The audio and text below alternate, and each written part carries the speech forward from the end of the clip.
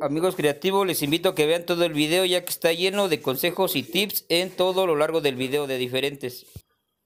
Bueno, aquí amigos creativos ya tenemos el bastidor preparado para meter lámina. Ya le di una limpiada con thinner a todo el contorno, a la cara donde va a ir la lámina. Y también ya limpié la lámina de la cara donde voy a meter el, poliuretano. Poliuretano lo vamos a echar en todas, en todos, en todos los empeines. Y vamos a meter eh, puntos en frío, los que le llamo yo, que es pija, pijas de punta de broca con la cabeza galletera. Y este, pues después de me elimino la cabeza y ya quedan los puntos en frío. Queda como si se echáramos soldadura. ¿Y por qué no soldo? Porque la lámina se deforma con el calor y pues afectamos el poliuretano que estamos metiendo en las caras. Y lo único que punteo serían las orillas del bastidor. Y aquí en medio, en donde les voy a enseñar un truco para poder unir lámina y poder pastear, meter pasta, luego plaster y que no se vean las uniones. Eh, ya lo he hecho en otros videos, pero aquí tenemos la oportunidad de volverlo a hacer para que lo aprendan bien. Después de meter aquí el poliuretano para que pegue la lámina en los empeines, meto pijas, pijas de punta de broca con la cabeza de rondana, con es para, para eh, la punta de cruz y este le llaman punta de, de, rondana, cabeza de rondana o galletera, es la pijita. ¿Por qué meto esa? Porque es la cabecita más plana que hay y con el disco de flat no, no uso el de, de, desbaste. Disco de flat es lo que yo les recomiendo que usen. Paso el esmeril del disco de flat arriba de la cabeza y se vuela la cabeza. Es rápido llegar a, al cuello del tornillo porque es muy plana la cabeza. Por eso les recomiendo esa de cabeza de rondana o la que se llama, de, o le llaman galletera. Para que eliminen la cabeza y lo único que queda es la rosca que queda entre la lámina y el perfil. Esto yo le llamo puntos en frío y el procedimiento es para que no calienten la lámina porque por muy grueso que sea el calibre, si ustedes no aplican bien el calor o exceden el calor, la lámina se abomba. Y esto se refleja cuando ustedes pintan el portón. Entonces este es el procedimiento que yo hago. Ahorita ya en el video que sigue, en la toma que sigue, se ve cómo meto las pijas. Aquí ya quedaron, como ven, ya son los puntos en frío. Todo el bastidor, que sería todo el bastidor alrededor. Y los empeines, los empeines, por ejemplo, de los cuadros son estos. Y los de allá arriba. Ya con esto estoy este, fijando todos los puntos en frío del bastidor del medio, donde no voy a meter soldadura. Donde voy a meter soldadura sería en la orilla como ven aquí sobre un cabezalito, ya, ya volteo yo el portón y corto este pedazo de aquí y también este pedazo de acá que sobra. Aquí sobra un pedazo aquí. Esta pija es centro del empeine. Entonces me estaría sobrando de aquí para acá un pedazo de, de lámina. Y ya están los puntos en frío de todo el centro. Ahí ya quedaron, como ven. Aquí como pueden ver mi marco es de R400 y abajo metí un cuadrado de una y media por una y media que es el ancho del, rectangular. Y aquí metí de una y media igual de este lado. Acá no quise meter de una y media porque este debilitaría el marco. Entonces aquí le di solución con esta con la solera, le puse una solera de una y media por octavo aquí de este lado. Esta cara va a ir pegada al R400 que está aquí. Y abajo, como dan, se dan cuenta, mi marco todo es de una y media. Si le ponen una y media aquí, exactamente me va a dar el empeine de 3 pulgadas. Y arriba igual, si se dan cuenta, aquí tiene un R300, son 3 pulgadas y con el de una y media vamos a enmarcar en 3 pulgadas. ¿Esto para qué? Para que la puerta en el portón no este, se ve aparte. Si yo metiera R300 todo y R400, que es el marco, lo que estoy metiendo R400 y divisiones de R300, si yo meto otro marco, pues se vería doble marco y ya no congeniaría con el diseño de la puerta, del portón. Bueno, ahorita tengo esta puerta aquí, que es de otro trabajo, pero todos los cuadros y haga de cuenta que son una, dos, van a ser tres, tres hojas, van a llevar tres tocapuertas y este cuadro se va a ver igual que este y el de acá. Pareciera que no tuviera puerta, pero sí está la puerta, por eso es que pongo, tuve que meter esta solera de una y media por octavo y todo el marco de una y media para que sumando con el una y media de todo esto me dé las 3 pulgadas que traigo de empeines y aquí la solera haría que no cambie el, el grueso de 4 pulgadas que traemos de marco.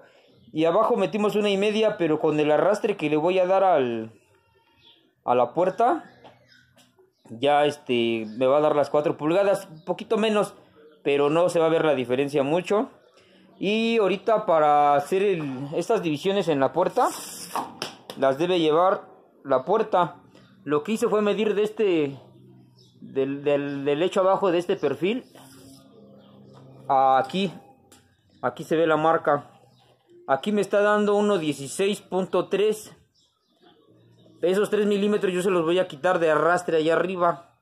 Entonces esta medida de aquí me va a quedar de 1.16 3 milímetros de arrastre. Quiere decir que yo aquí del lado arriba a este lado aquí la tengo la medida son 1.16 Aquí va mi primer perfil. De aquí hacia abajo va uno. Va el otro. Porque se dan cuenta van dos. Es ese de arriba y el de abajo. Y ya voy a dividir. Este, este, este. El primero aquí principal es este. Porque ya dándole los 3 milímetros de arrastre arriba. Que no necesita mucho allá. Arriba. Me va a coincidir este perfil. Con el perfil que ya tengo en el portón. El de abajo me va a coincidir igual y ya lo que me dé abajo, como no venimos muy bien en las 4 pulgadas de allá porque por el arrastre, medio centímetro va a quedar un poquito medio abajo aquí. Quiere decir que este cuadro acá abajo va a quedar unos 3-4 milímetros más grande, pero no se va a notar mucho porque lo importante que es esta línea y esta línea me van a coincidir. Y aquí yo ya le voy a hacer la división de los tres cuadros, que son los que me está pidiendo acá. allá arriba se ve. Cada hoja me pide tres cuadros tres cuadros, tres cuadros de acá. Ahorita lo que nos faltaría son los tres cuadros de abajo.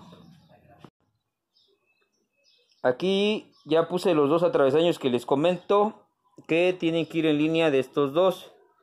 Ahora, este lado de la solera es el que va a ir de este lado.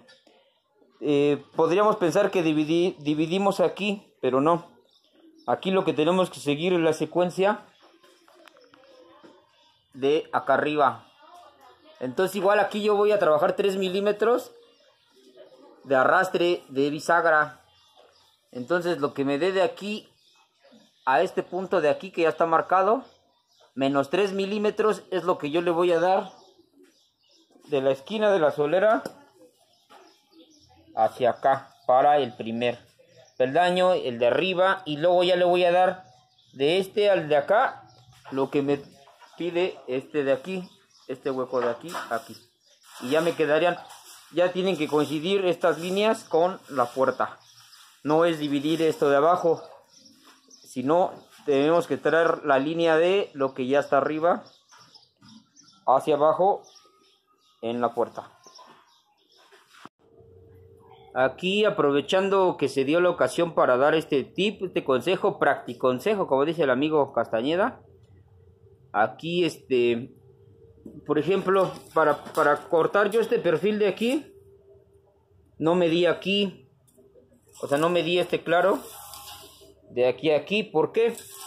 en este caso el extremo al extremo es de que esta solera pues no tiene rigidez porque no tiene fuerza peralte entonces lo que vamos a hacer es medir de esta esquina a esta esquina de aquí interior y me arroja ya esta medida al meterla aquí automáticamente se alinea la solera aquí igual lo mismo Ponemos este que es la misma medida que este y nos está alineando la solera. Este, este, este de esto de aquí que está flojo lo vamos a alinear con la lámina que le vamos a meter aquí. Ahorita lo van a ver. Y aquí el consejo es este. De que no porque sea solera sea así donde quiera. Cuando ustedes hacen un marco de ángulo. Por ejemplo en este caso. Que de esta puerta que tengo aquí enfrente. El, el claro de aquí. Ustedes lo que van a hacer aquí. Es de que aquí le vamos a hacer este. La medida va a ser siempre arriba. O acá abajo para poder meter un travesaño. Aquí en medio sí lo llevara, aquí no lo lleva. ¿Por qué? Porque quieran o no, cuando nosotros escuadramos aquí, y por ejemplo aquí que no te quedara, que te quedara la escuadra metida tantito para adentro, y tú allá necesitas que salga para afuera, ¿para qué? Para que te dé la escuadra del, cierre del marco. Entonces estamos forzando este perfil, que quieran o no, se pandea porque tiene una fuerza, es el calor es mucho es, el calor jala mucho. Entonces aquí como sea tiene una fuerza peralte y lo que estamos haciendo aquí es de que lo estamos forzando y pandea. Entonces les mentiría, si ustedes sacan esta medida de, de, aquí, se van a dar cuenta que aquí en medio le, lo va a empujar o al contrario le va a faltar. Entonces usaremos un sargento para ponerlo aquí y hacerlo llegar hacia adentro para que este claro quede igual que el claro de abajo, que es el correcto. Aquí ya tengo el marco, lo que hago es poner esta T, es un 103, para que tenga, para que del otro lado ponga la lámina y me dé a la, mitad media para un lado y los 2.5 para el otro lado como si fuera este, el batiente que trae la ceja del perfil. Así voy a dejar la lámina. De hecho, este portón va a tener vista para los dos lados pero para un lado queda como este. Queda este ancho y para el otro queda media pulgada queda más delgadito. La principal vista es donde dejo este ancho. Y aquí es donde voy a hacer un rombo. Voy a hacer un rombo que va a llevar igual vista de los dos lados. Está muy bonito ese portón. Ya tiene hace tiempo que lo hice. Y todavía no grababa pero pues se me dio la oportunidad de hacerlo otra vez y les voy a grabar el procedimiento. Cómo pongo la lámina y cómo pongo los rombos, cómo los hago. Y pues aquí está el 103 de plana, vean cómo queda. Y ya la lámina va aquí. Se la escuadra, pero para simularles cómo va la lámina, ya punteo de este lado yo. Y estamos punteando del lado que va a ser para atrás, la que no va a ser vista. Pero como va a llevar pasta, igual no se nota. Pero de todos modos yo procuro este, dar la soldadura para el lado que no va a ser la vista. Y ahí quedaría una T de cada lado. Y aquí en este de aquí me ayudo con un pedazo de T para dar la distancia e ir punteando nada más. Aquí como ven tenemos uno, dos, tres espacios. Y aquí está la puerta pero la puerta de servicio aquí va a ir su batiente de solera de media para que no se vea la luz. Y como ven la puerta de servicio no afecta el diseño ¿Por qué? Porque está bien simulada el marco de aquí que tengo. Es R400 y R400 de los dos lados. Es el mismo ancho. ¿Por qué? Porque aquí puse una solera de marco en la puerta abatible. Aquí en, el marco abatible puse una solera. Aquí lleva la misma línea que les comentaba del R300 por la medida que sacamos de aquí a aquí. Y igualmente estos perfiles coinciden con los perfiles de arriba. Y aquí de frente vamos a ver que llevamos dos de una y media dos perfiles de una y media que dan el ancho de 3 pulgadas. Y para acá igual son 3 pulgadas de aquí hacia acá y nos la va dando en línea continua hacia allá. Es la misma línea como pueden ver. Y tenemos puerta de servicio sin que afecte la vista del portón